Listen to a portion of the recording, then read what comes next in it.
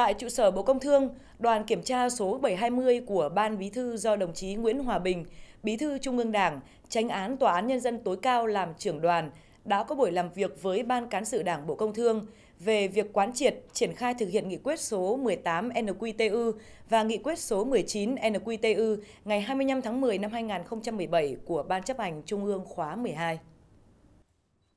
Tại buổi làm việc, Tránh án Tòa án Nhân dân tối cao Nguyễn Hòa Bình, trưởng đoàn kiểm tra đã đánh giá cao sự tích cực của Ban Cán sự Đảng Bộ Công Thương trong việc thực hiện quán triệt hai nghị quyết tới 100% đảng viên, người lao động và đã ban hành được kế hoạch hành động. Trưởng đoàn kiểm tra cho biết, đoàn đã làm việc với Ban Cán sự Đảng Bộ Công Thương và ba đơn vị thuộc Bộ gồm Cục Kỹ thuật An toàn và Môi trường Công nghiệp, Cục Cạnh tranh và Bảo vệ người tiêu dùng, Cục xuất nhập khẩu về việc thực hiện nghị quyết số 18 NQTU ngày 25 tháng 10 năm 2017 của Ban chấp hành Trung ương khóa 12 về một số vấn đề tiếp tục đổi mới, sắp xếp tổ chức bộ máy của hệ thống chính trị tinh gọn, hoạt động hiệu lực, hiệu quả. Tại buổi làm việc, đoàn kiểm tra sẽ tiếp tục bổ sung thêm một số nội dung góp ý của các thành viên để việc triển khai hai nghị quyết hiệu quả hơn.